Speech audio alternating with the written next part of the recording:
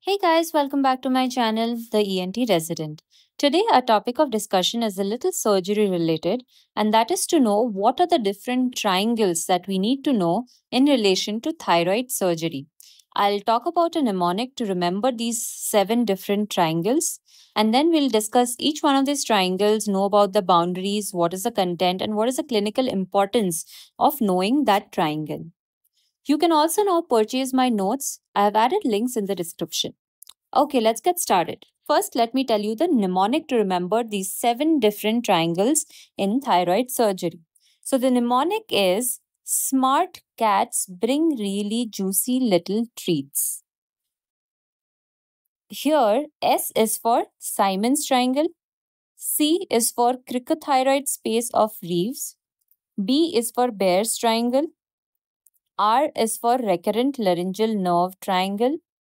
J is for Joll's triangle. L is for Lore's triangle. And T is for triangle of concern. Now let's discuss each one of these triangles in details. First, let's talk about the Beahr's triangle. Now, what is the Beahr's triangle also known as? The other name for Beahr's triangle is Riddle's triangle. Now the boundaries of Beahr's triangle are the base is formed by the common carotid artery. The superiorly it is bound by the inferior thyroid artery and inferiorly and medially it is bound by the recurrent laryngeal nerve. Now if you see in the image here, the first image, this uh, artery that we are seeing, this is the common carotid artery. So the common carotid artery here is forming the base. And then if you see in the image here, this is the thyrocervical trunk and that gives rise to the inferior thyroid artery. So this artery that we are seeing over here is the inferior thyroid artery and that is forming the superior boundary of this triangle. And third is the inferior and medial boundary. You can see this is the recurrent laryngeal nerve. So this is forming the inferior or the medial boundary in this case. So this triangle that we see over here is the Beahr's triangle. What is the importance of this triangle? This Beahr's triangle help basically when we are trying to delineate the boundaries of this triangle and this triangle lies posterior to the thyroid gland after we retract the ipsilateral thyroid medially. Once we have found all the boundaries of the triangle, one of the boundaries is the recurrent laryngeal nerve. So identifying this triangle helps us in avoiding any kind of injury to the nerve. So here also in the image you can see this is the common carotid artery forming the base. This is the inferior thyroid artery which is a branch of the thyrocervical trunk which is forming the superior boundary. And this is the recurrent laryngeal nerve which is the inferior or the medial boundary. Next, let's move on to the next triangle. Next is the Simon's triangle. Now, what is Simon's triangle? The boundaries of Simon's triangle are superiorly it has the inferior thyroid artery, same as the previous one. Laterally, it has the common carotid artery. And medially, it has the esophagus or the trachea. Now, let's see in the image over here. So, we can see this is the lateral boundary, which is a common carotid artery. Laterally is the common carotid artery. And superiorly is the inferior thyroid artery this is the this is where the inferior thyroid artery passes. And medially lies the esophagus or the trachea. So the difference between Simon's triangle and uh, Beahr's triangle is that in Beahr's triangle, the recurrent laryngeal nerve forms one of the boundaries, whereas in Simon's triangle, recurrent laryngeal nerve is actually a content of the triangle. So you can see here this is the triangle and this, the recurrent laryngeal nerve lies inside this triangle. So the importance of this triangle being that the recurrent laryngeal nerve crosses this triangle. So we have to identify the nerve over here intraoperatively in this triangle. Next is Joll's triangle. Now Joll's triangle also has another name and it is also known as the sternothyroid laryngeal triangle. Now, what are the boundaries of Joll's triangle? It is bounded superiorly by the superior attachment of the strap muscles, medially by the midline of the neck, laterally by the superior pole of thyroid gland and the superior thyroid vessels, and floor is formed by the cricothyroid muscle. Now, if you see in the first image over here, this is the strap muscle. So, if uh, the superior attachment of the strap muscle is forming the superior boundary. Medially, it is in the midline of the neck.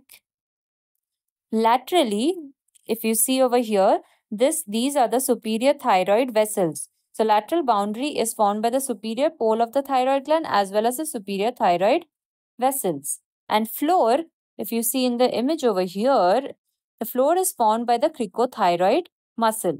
Now the content of this triangle is the external branch of superior laryngeal nerve.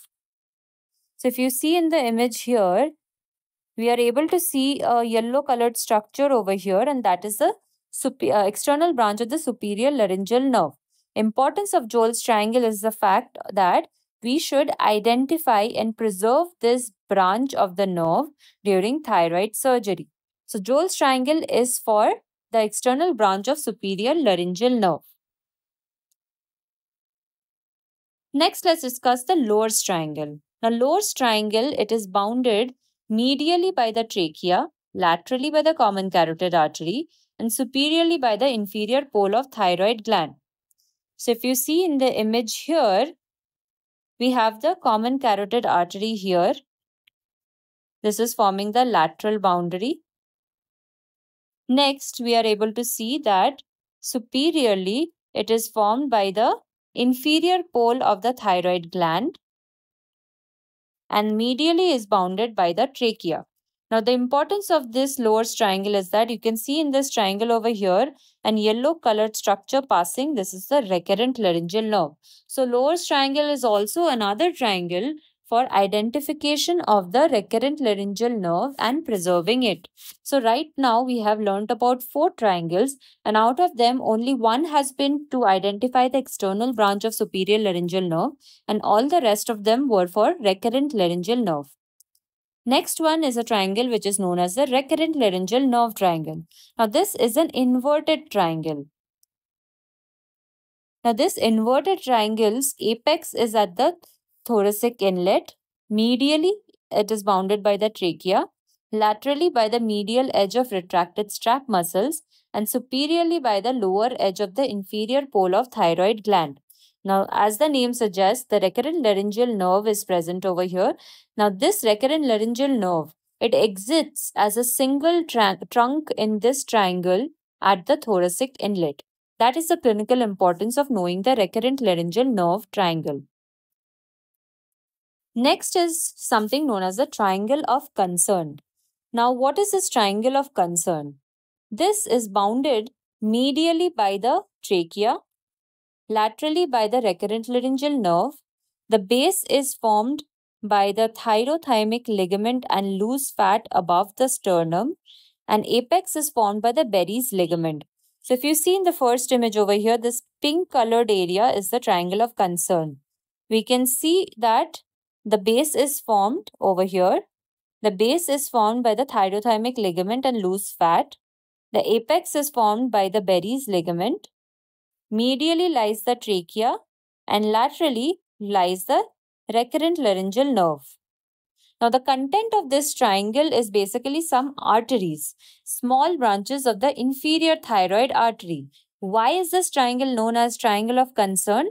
It's because of the presence of these branches of the inferior thyroid artery, this area ends up being the commonest site for bleeding in cases of thyroidectomy. So, this will require very meticulous hemostasis within the vis because this also lies within the vicinity of the recurrent laryngeal nerve. If you see in the image here, we are able to see the recurrent laryngeal nerve here. So the, we have to be very careful about uh, achieving hemostasis in this region because it is very close to the recurrent laryngeal nerve. And that because it is a commonest site for bleeding in thyroid surgeries, this is also known as the triangle of concern. Last of all, let's talk about the last triangle, which is the seventh triangle we need to know related to the thyroid surgeries, and that is cricothyroid space of Reeves. Now, what is this space? This space is basically an avascular plane which we find in between the upper pole of the thyroid gland and the cricothyroid muscle. So this plane that, that that space that we have found between the cricothyroid and the upper pole of the thyroid gland is this plane is known as the cricothyroid space of Reeves. Why is this plane important? If you see in the image here, we are able to see that the external branch of the superior laryngeal nerve enters this space. So what we have to do is we have to identify and open up this space so as to be able to preserve this external branch of superior laryngeal nerve and what happens when we remove when we remove this space and we retract the ipsilateral thyroid lobe it ends up revealing the Joll's triangle so a downward and an outward traction of the ipsilateral thyroid lobe will reveal the Joll's triangle. So this is all about the seven different triangles we need to know in relation to thyroid surgery. And out of all the seven triangles the uh, only two of them are related with the external branch of superior laryngeal nerve. And these are the Joll's triangle and the cricothyroid space of Reeves whereas the rest of the five triangles they are all related to the recurrent laryngeal nerve. So that's all for today. If you have any questions please note them down in the comment section and I'll get back to you